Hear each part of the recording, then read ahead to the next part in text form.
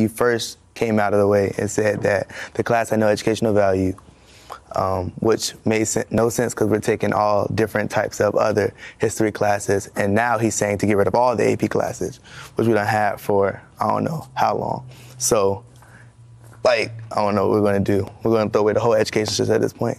No school.